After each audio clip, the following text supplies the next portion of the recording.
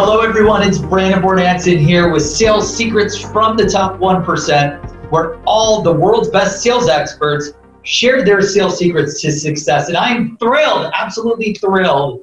My Columbus native here, Amy Franko, author, keynote speaker, her newest, latest book, The Modern Seller, which is an Amazon bestseller, new release. Amy, thank you so much for joining us today. Thank you, and I gotta tell you, I love that intro. I think I'm gonna have you introduce me at all my future keynotes.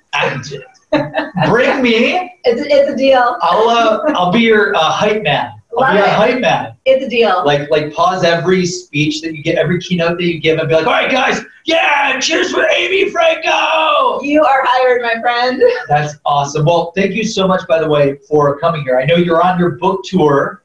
The Modern Seller is like wild all over Amazon. Everyone's going nuts. This new digital economy, and you're figuring out how to educate people on how to sell. For the audience that doesn't know you, or may have just read the book, or just bought the book, or is thinking about getting the book, or doesn't know about the book, you tell tell people who Amy Franko is and a little bit about your bio and background. Yeah, so let me fill, fill in a little few blanks here. So, uh, from a professional standpoint, I got my start in sales working at companies like IBM and Lenovo. Awesome. So I come from kind of that uh, traditional B2B selling background, but, but in the technology space. And I had this mix of commercial accounts, public sector accounts. I, I was all over the board. But um, sold uh, PC technology. okay. So that was really the first 10 years of my career. And then um, decided to take a big pivot and become an entrepreneur. So that was uh, about 2007 and uh, started my own consulting practice and uh, took a pivot into learning and development. And so what that looks like now is I work with organizations on um, sales training, strategic selling programs, uh, keynote speaking, and uh, and then of course the new book that just came out. Wow, that, that's incredible. Now, doing like enterprise sales for IBM and Lenovo, um, what encouraged you to just say, you know what, I'm, I'm done being a, a top salesperson and I want to launch my own kind of consulting firm? Yeah, you know, I am. I loved working at IBM and at Lenovo. And I'm an IBM grad, by the way. So I'm an Nice. IBM Interactive salesperson alumni. That's right. That's right. Um, so I, I could relate to the good and the bad. Um, you know, a lot of each. And um, but yeah, go ahead. So you're selling for them? Yeah, yeah, yeah. So, um, so got my start at IBM and Lenovo, and you know, I had always wanted to either lead something or start something. I, I swear, I don't even know like where that came from. It's just something I think has always been with me, and I just uh, the right opportunity came along to to make a change, make a pivot. And I really remember thinking about it. I was 30, 31 at the time. Wow. And I remember thinking, And you're, you know what? you're 32 now. Right? Right, exactly. Thank you. My hype man. Um, I just remember thinking, I don't want to look back in 10 years and say, I really wish I would have given it a shot. Wow. So that was, I, I really consciously remember thinking that. And that was probably the last like little catalyst that I needed to say, all right, I'm going to leave this B2B selling behind. And you never stop selling. It's just a different kind of selling. It's much more entrepreneurial and bootstrapping and Yeah. everything. you don't I have all those resources. Right. Everything I learned though in B2B selling, I took with me into entrepreneurial selling. That's that's incredible. I'm just making sure we have this still running. Okay, cool. Just min- just minimize. Good. And we want to look at that in this. Okay. Wow, that, that is absolutely incredible. So when it comes to, by the way, was it hard for you to like take the pay cut and jump? Oh yeah. Because that, was. that was one of the biggest, like the hardest things that was holding me back was like, uh, being a top 1% salesperson like you were at Lenovo and IBM, to give that all up and like not make any money for however long it takes to launch your consultancy. Like, walk, tell me about that. Like, Yeah. what was the, the strategy or approach? And Oh my gosh. I do remember it's um I- think especially in sales, a lot of our identity is wrapped up in our success. Mhm. Hitting quota, exceeding quota, crushing quota, whatever that looks like. But we get wrapped up in that. We're, we're competitive. I'm type A, I'm competitive. Um, so I still remember the day that I called my boss and quit my job. Oh. I was so scared. I probably dialed the number and hung up like three or four times because Wow. he wasn't here in Columbus. Wow. My boss, I think, was in like St. Louis or something like that. Okay. So this was a phone call.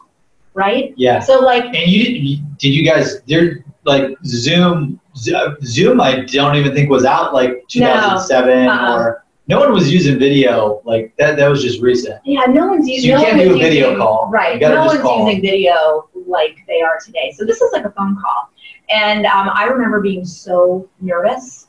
But I finally, it's like, well, it's either today or or never. And I finally just made the phone call and I talked to him about it. And uh, to his credit, he was so excited for me That's awesome. and taking this new path. And and on one hand, he was like, "I'm so excited for you." On the other hand, he's like, "Oh my crap!" He's like, "I don't want to lose you." And that was the nicest compliment I could have gotten. That's awesome. But That's was really encouraging. But to your question about the the paycheck, yeah, it was hard. But I'm a planner. I'd had a couple good years and you know socked away a few commission checks and, and I planned that out. So uh, for anybody that thinks you know it was a spur of the moment kind of thing, if you're thinking about doing something like this yourself, it wasn't. I did a lot of planning Yeah. and made sure that I was ready to. You're never totally ready, but ready enough to say, all right, I'm going to take this chance. And I remember thinking, all right, what's the worst thing that could happen? It's a total crash and burn. I hate it. I'd go back and get a sales job. Now, of course, that was before 2008, so a little ignorance is bliss. But I just had to look at it that way and be like, I got to take this chance on myself. That's awesome. Yeah. And when it came to, yeah, there's this quote: I, "I'd rather try than than look back and regret not Yeah. trying. Like I'd rather just like try and fail than not take the shot at all." 100%. Uh, and the, the like I feel like a lot of entrepreneurs and salespeople like that have started companies, they think that it's just like oh you just jump in and then you figure it out. Like you're doing all this planning and putting money away, and you're thinking about okay who who are the clients that I'm going to go after. I, I assume when you launched like in 2007, like did you start like slowly building a pipeline kind of before you left to people, or just like right after, like just hit the ground running with tons of prospecting and sales? I wish that I was that strategic about it. Okay. when when I um, when I left and went out on my own, um, I did have a strategic partnership with a training company that was here in town. So I had a client coming out of the gate.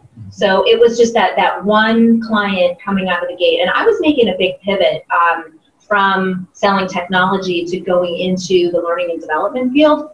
So that was one of the things I learned, maybe the hard way, was if I had to do over again, I might have been a little more thoughtful or strategic Yeah. about the direction that I was heading in and what what kind of track could I run on. I eventually figured it out, you know, one step in front of the other, but that took me some time. And um, and the business has evolved over the last ten or twelve years. It doesn't look the same today as it did when I started. Wow, that's incredible. And, and when you were at IBM and Lenovo and then running into your company currently, what were the types like sizes of companies that you were selling to? Um, you know, revenue, industry, employee size, types of titles too, just so the audience kind of understands, they can frame who you were going after. Yeah, yeah. So when I was at IBM and Lenovo, so um, I had a mix of commercial clients and public sector clients. So it could range from the really large 10, 20,000 plus person organization, honestly, all the way down to a small school district.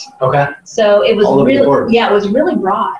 Um, which I loved, and it challenged me in different ways and in figuring out how to build those relationships in a, a number of different environments. So it taught me that adaptability when I did eventually go out on my own. So so that was a little bit of how that all got started. But um, as I thought about when I moved out on my own, I really had to start getting smarter and much more focused about the, the types of uh, prospects and clients that I wanted to build build relationships with.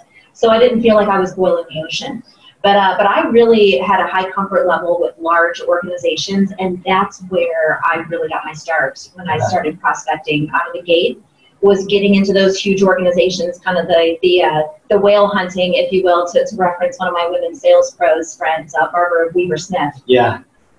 I love that book. Yeah. Um, it was actually one of the one of the first books I read, like going after enterprise sales companies. Uh, her and Jill Konrath, like right out of the gate, both their books like taught me when I first got into sales about going after the enterprise deal. Yes, you know that's so funny that you say that because uh, Jill Konrath's book was one of the first that I bought. Um, it was selling to big companies. Yes, that was the first one I read. Yeah. Selling to big companies. It's still on my 'Cause I- bookshelf. I joined IBM and I'm like, dude, I've ran startups, sales for startups. Like, I don't know how to sell to Fortune 500. And I was like, all right, I'll read this book first. Yeah, Awesome stuff. yeah, it was Um, really good. And you had asked me a question about the decision makers when uh, that Yeah. I wanted to come back to. So when I was at IBM and Lenovo, I was calling on your VPs of IT, your directors of IT. Okay. But that was my audience. But when I made the shift into entrepreneurship and I made the pivot into the learning and development space, that audience changed. So I was now calling on VPs of HR, VPs of training. Um, and I still call on those in addition to maybe VPs of sales with the, the strategic selling programs that I do. So I have new audiences that I now had to build relationships New with. targets, new audiences, new company, Everything. no marketing, no salespeople. Like, you're Right. doing it all. Yep.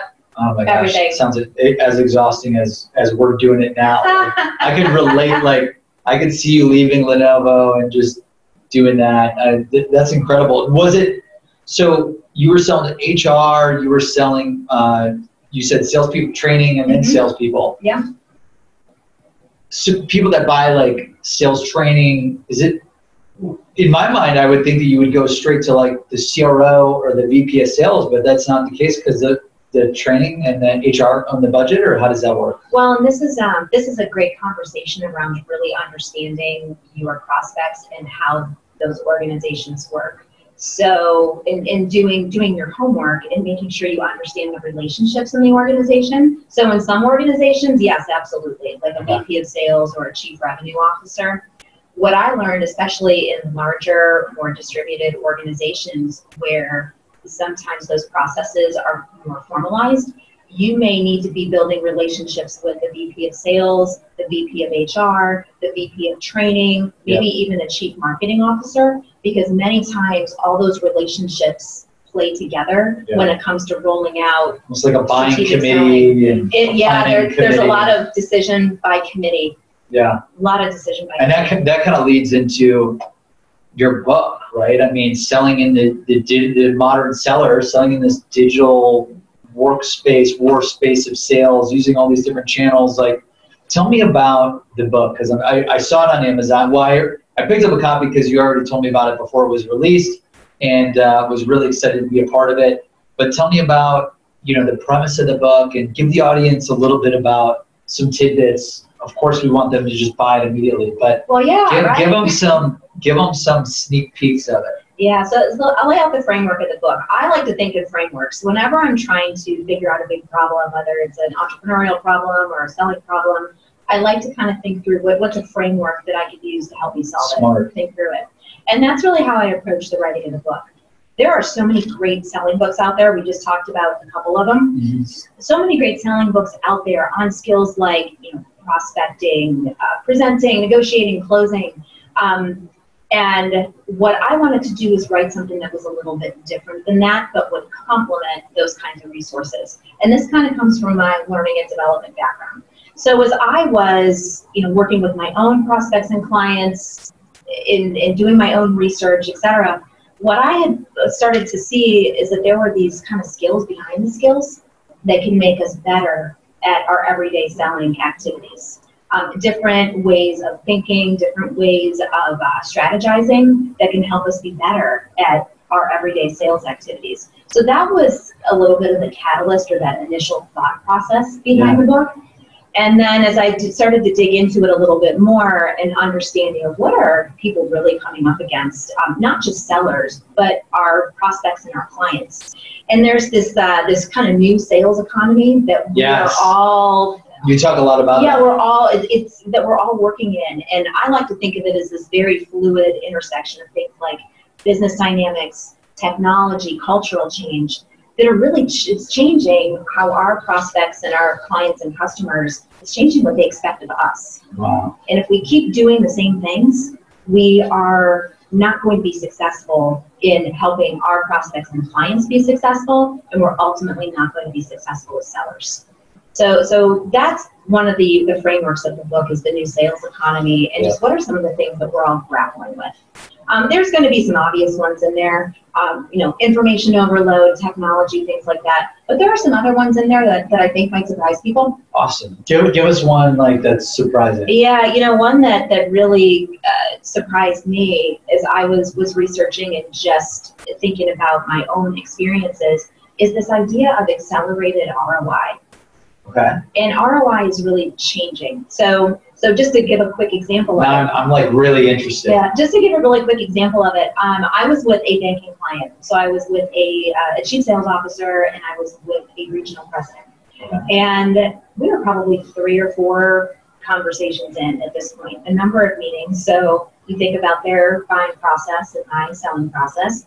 So I'm going into this meeting thinking, hey, we're going to cross some T's, we're going to dot some I's, we are going to work together after this meeting. Yep. So, so I'm getting, I'm partway through this meeting and we're talking about different solutions. And uh, the regional president, she get, she gets this real kind of thoughtful look on her face. You know that look when somebody's going to ask you a really hard question? Uh, Yeah, you know Yeah. that one. Yeah. So she looks at me and she's like, you know, Amy, she's like, I need to be able to go to my president. I need to go to the corporate president. I need to be able to bullet point out for him two or three bullet points. How is this work together going to make a really meaningful impact and really move the needle on the business in the next 90 days? And uh, the truth is, I didn't have a great answer for her in that moment. And what I learned from that was I should have seen that question coming, first of all. awesome. Um, so I'm always prepared for that question now. But I should have seen that, that question coming. And, but also what I learned was our prospects and clients, they don't work in annual businesses anymore. They may have some big initiatives that are one and three and five year initiatives, but if we aren't helping them make meaningful progress in 90 days, we are going to look like everyone else. And our competitors are very likely in there, if they're thinking about this, they're in there doing exactly that. So the lesson for me was speed Okay. of ROI. Clients are not working in annual businesses anymore, they are working in quarterly businesses, and then really getting crystal clear on what they expect. And it can be as simple as asking the question, tell me what are the two or three most important things that you expect to see out of our relationship together? And then every conversation can be about that. That's awesome. And it's not just a selling conversation, that's a business relationship conversation that makes us so much different. Yeah, I, could- I could totally relate at our software company. You know, our investors have us focus on three core KPIs. Our VCs are like, only care about these three, you know, revenue, MRR, churn, and then data, Mhm. you know, because we, we're building a search engine and it, anyone that we talk to, it's, it's one of those three or all three that we're focused on. And I never thought about, I mean, I'm, I personally always track like daily KPIs and I'm obsessed over them, but I never thought about pitching it as in like ROI is always laid out over the course of a year. But if they don't see results one month, two months, three months in, they, they probably have to think that the program's a fail. Yeah, right. I like I love that idea. It's it's genius. I don't know why everyone's using uh, like the digital economy. Everything's happening so fast. Like a year from now, they may be bought, they may shut down. They you, you just have no idea. Right, for sure. They might be acquiring another organization, whatever that looks like. Um, the other thing with that lesson was ROI can look different than what we assume. So, so in your world, you're talking about those those specific KPIs. But if you're calling into a different industry, the language might be different, the expectations might be different. I um, I had one person tell me that one of their expectations was a time savings expectation. Okay. Well, I think we make some assumptions on ROIs, like, oh, I want to cut costs, or I want speed to revenue, or I want speed to profit, and all all valid. Yeah. Um, but if we ask the question, we might get some different answers. Interesting. Yeah. And, and when you when you're running discovery, because I, I could already tell you've got the whole like you're I'm sure your discovery process is like solid, amazing. Like w- some of those key discovery questions. So it sounds like you know what are your expectations for this program, Yeah. which you mentioned. What- What are some other like anyone that's trying to sell any big company, mid company in, at- in the modern seller approach?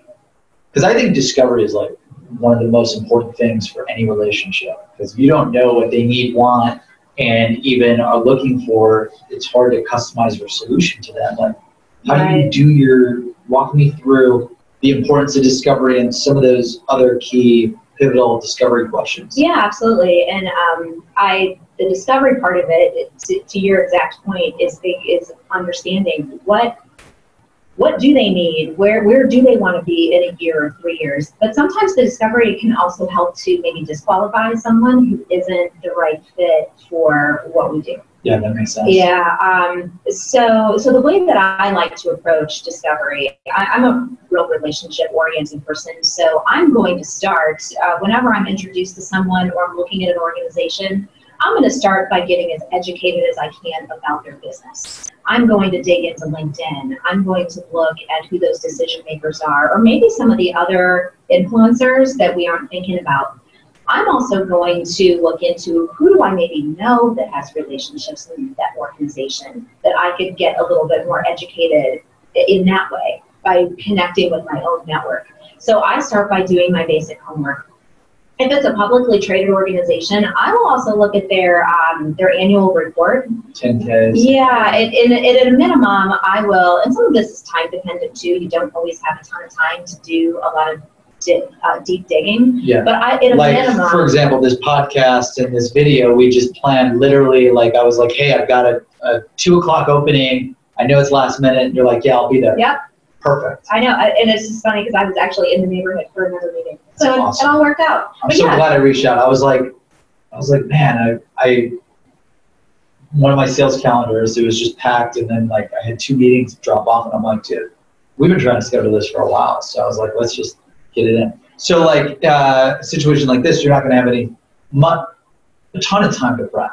Right. So, so if I'm in a situation where I don't have a ton of time to prep, at a minimum, I'm going to do some LinkedIn research and learn something about the decision makers or other influencers. If it's a publicly traded organization, I might look at the uh, executive summary of an annual report. It's, it's great what you can pull up out of that. Um, you might at least get glean some insight into what some of their big initiatives are and understand if what you do start to make some connections between maybe what I do and what they're looking to accomplish. Is there any connection there? Makes sense. So, so those are some of the things I'm going to do out of the gate. But I always have, when I go into a, a discovery conversation, I always have like three to five questions at the ready. Already prepped. Yeah, and, and they're high level, and then I do them enough that I can customize them a little bit in the moment. Yep. But the ROI question is a great one. Um, and I guarantee that if you ask that question, they'll be pleasantly surprised that you asked it, especially if you've done a little bit of homework to say, you know, these are some of the initiatives that I've read about what you're taking on. How do these maybe line up against the, you know, ROI expectations that you might have for us working together? Um, that was too many words in that question, but you get you get the gist. Yeah. Um, but I really try to keep the questions. What, what's the outcome that they're looking for? Yeah. What what's the outcome? Uh, one question that you can't assume it, right? Like, you if, can't. like no. if you're coaching our sales team, you know, we may want to be speed to market, we may want to be speed to revenue, we may want to increase top of funnel conversion rates, bottom of funnel conversion rates. Like, if you don't ask me, how are you going to know? Right. And and sometimes like I'll ask that question and I may get some answers where I don't I may not know exactly what it is that they're talking about. And I may need to ask them to expand on it a, little- a little bit. And then I make a note, I need to go back and do some homework and get myself more educated on what all this means. Um, but that that's a great question that a lot of people they may or may not be expecting it.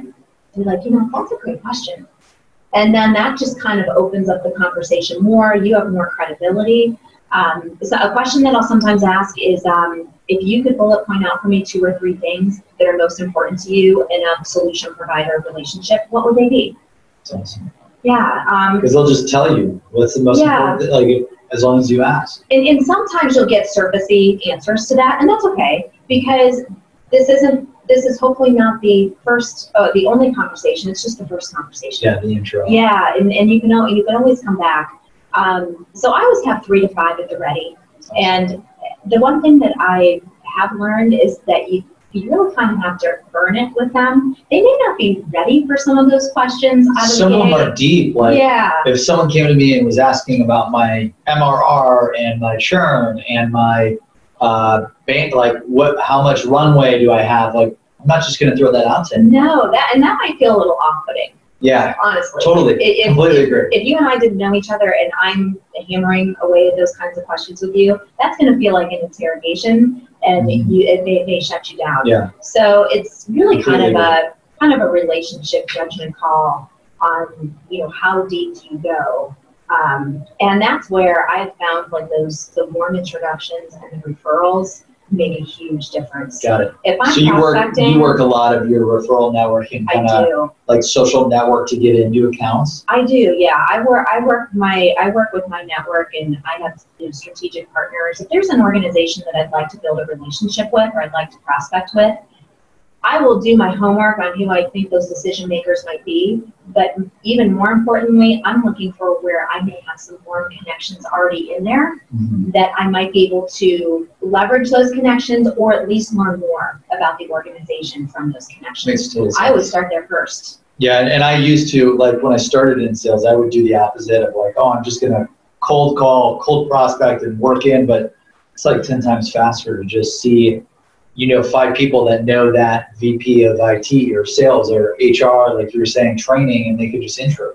Right, right. So, you know, if you and I are introduced through mm-hmm. someone else, and I may be asking you some of these questions, if you already have a baseline understanding, maybe of who I am from the person that introduced us, and that person can introduced us, said, you know, you can really trust Amy. She, she might ask you some tough questions, High credibility. Yeah. Right, but you already have the credibility coming in the door, and the odds of you being willing to be more open with me are a lot higher because I have that trusted introduction. Yeah, that's amazing. So tell me, switching gears a little Yeah. bit, tell me a little bit about your motivation for the book and why you wrote the book. Yeah, yeah. So um, The number one Amazon new release bestseller. Says my hype man. Yeah, hype man, the modern seller, guys. Go pick it up.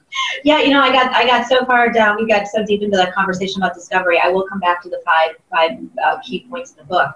But you know, the catalyst for the book for me, I've um, I love writing. So I've Oh, always wow. I've always been A salesperson that loves to like. I feel like you don't see that a lot. Salespeople love to talk. as I do love to talk too. I got I got to remember uh, remember when to close my mouth and listen. But um, I love writing. It's always something I've always uh, enjoyed doing. And writing the book is, I joke, it's kind of one of the like a 20 year goal and a 20 year project. I've Wow. always wanted to do something around the book, Mhm. and this just happened to be the right timing, the right catalyst. Um, I had made some changes in the business. and It was just the time to do it Oh, you know, wow. sometimes things just come down to timing and opportunity. Um, you do you do all the prep work, but what is that saying? Success is where hard work meets opportunity. Yeah, I, and I think that was this book is a great example of that. just like a lot of everything that you learned and, and saw throughout your career and the clients that you helped, and then throw it into the modern seller. And I think my, my background of B2B selling, and I still do B2B selling, but my background of that traditional environment and then the entrepreneurial environment, I, I'd like to think it gives me a little bit of a unique perspective. Yeah. And um, I also sell professional services. I sell a professional service. Um, I when I I'm selling and I'm also doing delivery. So there there's so I know. so stressful. Yeah, it, it can be. Um, Doing both. It can be stressful, and I'm looking looking for one of my strategies for 2019 is is using more technology to scale. But um, but yeah, so I understand a lot of different environments because I've taken a lot of different pivots in my career. Yeah, so you've done the, the tech sales, you're doing the professional services sales, and then Yeah. you've got the entrepreneurial view, launching your own company, you know, for the past decade. That's incredible. Um, and then for anyone that wants to buy the book, where where can they go to pick up the modern seller today? Yeah, so the best place to go is Amazon. So that is out there. Um, and then um, if we work directly, I, I will usually um, keynotes, uh, speaking engagements, we'll work with organizations directly on that. But for those of us, those listening out there, Amazon's the best place to go. Awesome. Yeah, I love Amazon. So it's too easy. It, it's so addicting to just buy everything with one click. I know, right? I uh, I buy a lot of. I got to stop buying a ton of books that I don't read. Like I'll buy like 50, read 20, and then I'll, I never get to the other 30, and then I do it again the following week. Well, I think what's so interesting about about Amazon is this kind of this idea of the Amazon effect and how it is making its way into B2B selling. Mm-hmm. And a lot of our expectations around speed and ease of use and ease of buying. Instant, instant, yeah, instant. Um, that that type of sort of B2C environment, those behaviors you know, we're all people. We bring those same behaviors into our corporate environment. Yep. And so it may or may not play in every scenario, but it, it pays to be aware of it. Totally. Because our those behaviors that we now have in a tech world come to our everyday, you know, corporate life. Wow. Yeah, I completely agree. And um, just because our readers are dying, so Sales secrets from the top 1%. Yeah. The world's best sales experts share their secrets to sales success. You know, you've had a, an immense amount of success at IBM, at Lenovo, at um, running your own company, launching the book, you know, uh, new release, bestseller on Amazon. Like, everyone's dying to know. And, and we keep it to one secret. Like, what is your sales secret to sales success? If you had to pick one thing, what would you say that is? Because Brandon knows I can say like three or four. So he's looking at me saying one. one thing. Um, social capital. Okay. Yeah. What is social capital? So I like to think of social capital as the collective value of our networks. Interesting. So modern sellers, uh, well, first let me say, social capital is never going to be something that shows up on a P&L. Right. But you know, some modern sellers and modern selling organizations who really get the value of social capital, they know that their relationships and their networks have really tangible value. That they just couldn't be successful without them. And I really believe that the the value of my relationships directly impacts the sales results that I can accomplish. And wow. and the bigger goals that we have that we want to accomplish. And I think modern sellers have big goals. The bigger and more significant the goals that we have, the more that we need social capital and we need our networks to be able to accomplish those. We can accomplish bigger, more significant goals and we can do it more quickly. And it's so much more rewarding. Wow. And so social capital, completely agree, love it. Relationships are everything. Because the modern seller is that, you know, person that's always striving to get to the next level, anyone that's reading this book, Sales Secrets from the Top 1%, they are a top one percenter or they want to become a top one percenter.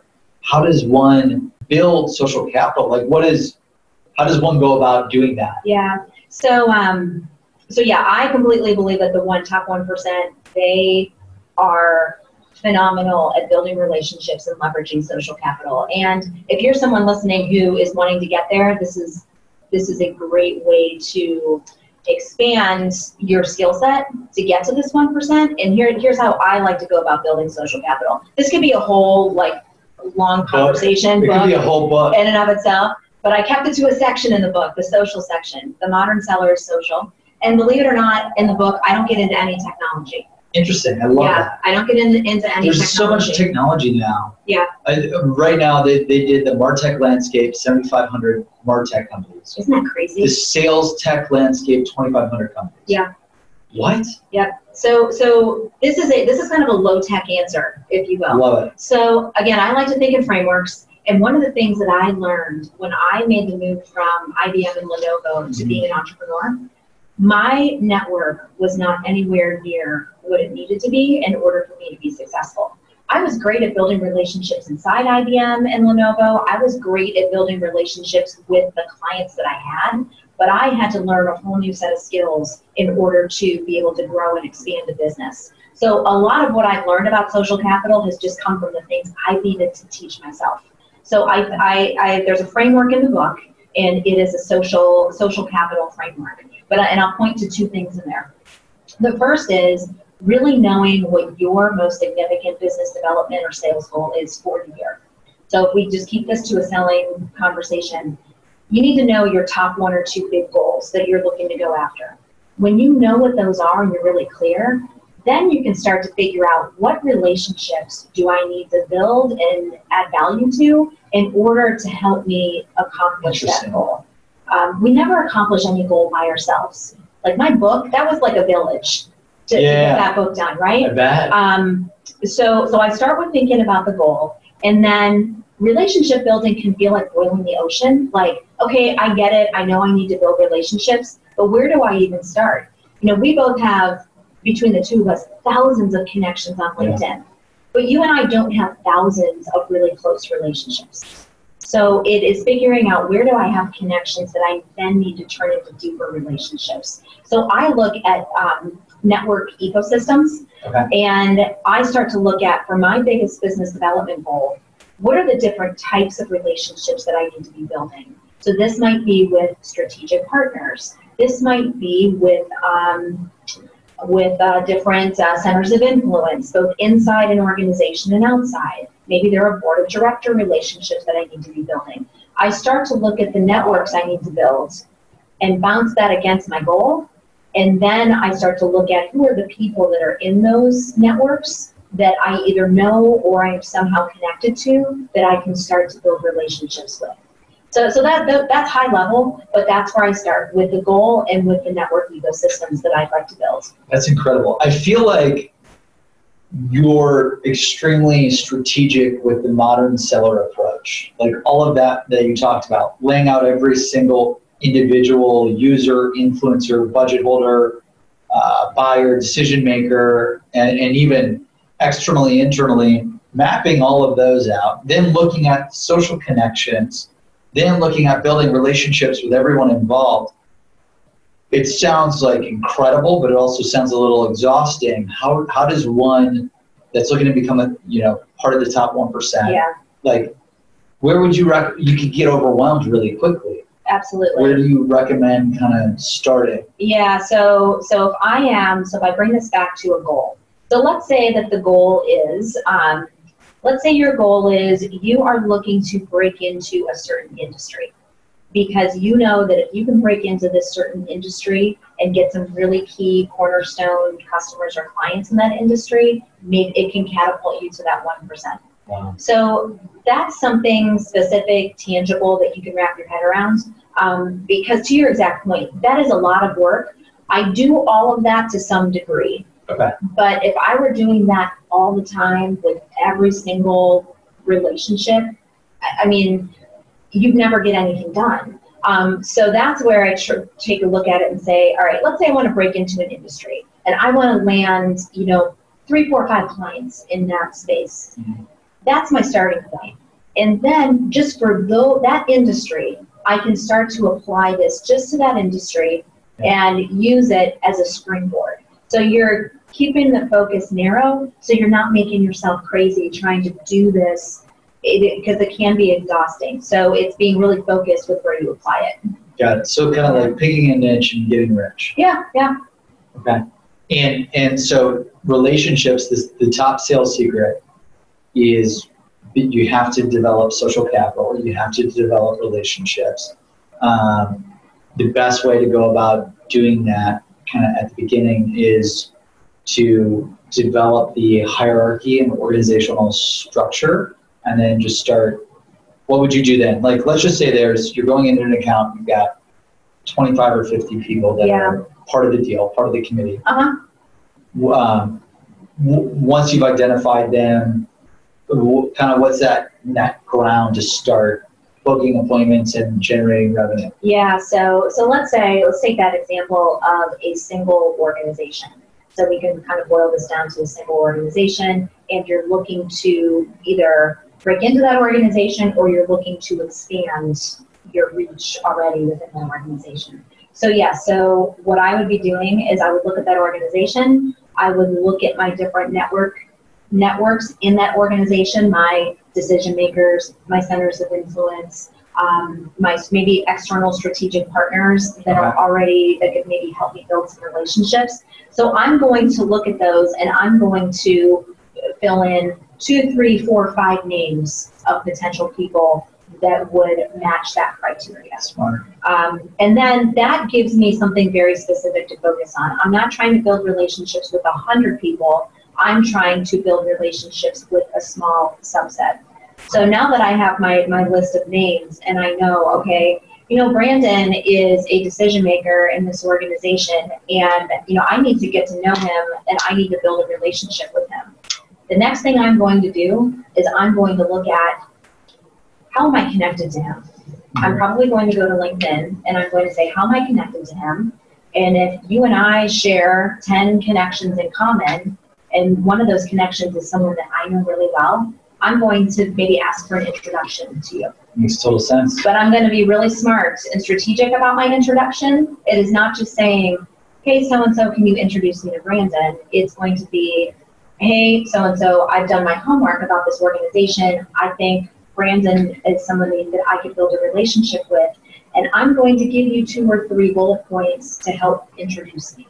Yeah. I never Kind of leave like it. I write the never leave script it for to them chance. and deliver the research. Yep. And here's why, here's why I think I'd be, a, if this would be a good potential conversation. And here are a couple bullet points to help introduce me so that I take all of the hard work off of that person's plate. I love that. I, I think that's the most critical part of an intro is people like will ask for intros like, hey, can you introduce me? It's like, you know how many meetings I'm in? Mm-hmm. Like 10,000 meetings. I got 100 emails every hour, Yeah, 30 to 100 Right. LinkedIn messages every four hours coming in. Like, I love the idea about you have to frame up like, here's the script that you can use to intro me. Here's the value that I'm going to bring to the person that you're going to introduce me to.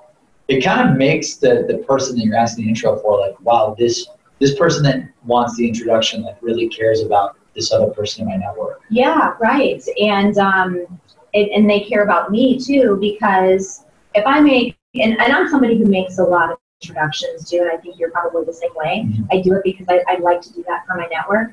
But I hate spending 30 minutes or an hour trying to figure out, and I don't do that. What would I even say? Yeah. Um, where you're taking the guesswork out of it, you're making it easy for the other person. And oh, by the way, now that Amy's been introduced to Brandon, you now know something about me. You know my level of thoughtfulness. You know what I'm already thinking about before we even Yeah. reach out. And your odds of taking a phone call, a video chat, or a meeting with me just skyrocketed. Yeah, I love that. I, and it, it breaks down the barrier in the wall. Like Yeah. it, you just have to make it stupid simple. And Keep stupid simple. And that's where the social capital starts to get built right out of the gate. I've now built it with my the into the person who's introducing us. I've now built it with you, and now I have an opportunity to continue earning credibility with you. Yeah. Um, and I sometimes uh, we make it a lot harder than it needs to be. I'm always Bet. asking, how can I make it as easy as possible on the person who's introducing me to make them say, oh yeah, I'd be happy to do Same that. here. Yeah. As I, use that approach like when trying to book appointments. Yeah. Same with intros. You have to. And, uh, and that's the start of social capital. And when you, if you take an organizational approach or an industry approach, it, it, it keeps you from, from feeling like you're boiling the ocean and you're making really meaningful connections, Right. meaningful relationships. You're not trying to be like out here building relationships with tons of people out here. You're being really specific and focused about it so that they're the right relationships Yeah, I love that. because you got to do the right things to get to the 1%. Anybody can run around crazy busy and doing all kinds of selling activity or what they think is selling activity, Yeah. but is it the right stuff? Interesting. Yeah, I completely agree. And how? What percent of sales teams, salespeople, marketers, do you think are taking the time to even look at the prospect and look at the mutual connections and asking for an intro? Gosh. You know, I have to say it's probably a fairly low percentage. I don't know if I could put a number on it, but I do get my fair share of LinkedIn messages that I can tell that someone didn't do their homework or it's something where I get sent an invitation to connect and then I start getting this barrage of Blast. kind of spammy messages or. I can tell that they didn't even do five minutes of work. Yeah. Um, I'm gonna guess it's probably a low percentage. Yeah, I bet you it's like five percent. Yeah, it's I, I don't even sometimes like I'm not perfect with it. I'm really bad with it actually. Like now that you bring up the importance of social capital, I'm gonna go back to my company and be like, guys, like you're trying to break in an account, make sure you check the mutual connections to the DMs and influencers and users based on your advice. Make sure you have scripts ready to go to get introduced. And uh, I think that's that's a phenomenal sales secret that's untapped, like exponentially untapped out of the majority of sales secrets. Like salespeople just want to go and they want to prospect, they want to execute. And like that's the hardest way to go. Totally. The easiest way to go is to work your network to get into the account. And f- for a real world example, like this is giving me deja vu, guys. When I started fundraising for Seamless.ai, the world's best sales leads, I was like, I'm a top 1% salesperson. I know how to sell. So what did I do? I built a list of 22,000 venture capital firms. Oh, just 22,000? Just 22,000. And then um, we used Seamless to build all the uh, venture capital partners, general partners, all the personas, right? Yeah. Everything that you're talking about, build the committee. And then, like, we literally just went after everyone cold. Like, oh, you know, we, we closed a lot of funding in Columbus here locally where we're at right now, closed a lot of funding in New Jersey and San Francisco. But, like, it took probably three to 5x longer going cold. 5x longer going cold because if you're asking for people to give their money to you, like they just don't trust you. No one trusts you. Sales, like going cold after sales is easier than going after trying to get them an investor to open up their bank account. And that my biggest regret with fundraising and probably with sales now that you bring up the sales secret is like work the network. Like I could have closed a deal instantly if I just had someone that they knew and liked intro me to that VC intro me to that big enterprise account. It's incredible. There's that, um, what's that statistic? It's like 84% of decision makers start their, pro- their decision making process reaching out to someone that they trust to ask for some kind of referral. Yeah. Um, and I don't remember where I saw that, that figure from, but it makes a lot of sense. We think about our own behaviors. Mm-hmm. We're looking to buy something or we're looking for a service. What do we do? We call, text, message, Post on social media, yeah, um, email people. or people that we trust to say, here's what I'm looking to do. Who can you recommend? Yeah. Um, I just got an email today saying like we showed up in a random decision maker forum and people were talking like they love the product and uh, it's it'd be like that stuff just happens like without you even knowing it. Yeah, right. And that that's that um, that, that third party credibility that's happening when you're when you're not even in the room. That's also a byproduct of social capital. I was just about to say that's Yeah. social like because social capitalism like has this exponential effect. Like even if you're not there, it could be driving revenue and business opportunities for you. Absolutely. And um, one of my favorite favorite concepts around social capital. This came from Keith Ferrazzi, and Okay. um, uh, he talks about how generosity is the fuel of your networks. And I just love that. And I, I always try to remember that, that the more generous we are with our networks, people usually like to be connected or they're looking for connections to um, other people. They're looking for connections to ideas, resources. The more generous that I can be with those, those network assets that I've built, I really believe the more that comes back. And it sometimes comes back in surprising ways. You just never know how it's going to come back. Yeah. But even if it doesn't, that's okay too. It, it's the idea of just being generous. Yeah, and everyone's always the, the people that you're trying to sell to, they care about them, and the people that are selling only care about themselves. And like you have to be obsessed with who you're trying to sell to Yeah. and how to help them. And, and I think if I could put a plug in for our local community here in Columbus, I, I think we have one of the most generous, generous cities, regions I've ever been a part of. Yeah, it's, it's one of my favorite agree. things about Columbus is how generous and open people are here. Yeah, everyone's open, trying to help, Yeah, um, versus kind of the opposite, take Totally. each other down, cut each other's throats, you name it. That's amazing. Well, Amy Franko, author of The Modern Seller, Amazon's newest uh, bestseller release out on the market. Guys, pick up Amy's book. If you haven't listened, Social Capital is the sales secret from one of the top sales experts. And Amy, last last question. I, I know only one question. What's your top sales secret? But if you could tell yourself anything, you know, go back to when you first started selling. One piece of advice. You gave us the sales secret. What would be like just the one last piece of advice that you would give yourself in a, in a, in a tweet, like looking back? Yeah, if I were to say looking back and putting it into 140 characters or less, or whatever Twitter is now, Yeah. um, I would I would say have the courage to ask. Okay. Every time I have ever just pushed myself out of my own comfort zone and put uh, put the fears aside and just made the ask for what it was that I needed to move the business forward or whatever that was or whatever I was going after. When I had the courage to ask, that catapulted me more than any, anything else I could think of. Wow, that's amazing, guys. So have the courage to ask. Thank you so much, everyone, for tuning in to Sales Secrets from the Top 1%. The world's best sales experts share their secrets to sales success. Amy Franko, thank you so much for joining us today. Thank you for having me, Hype Man.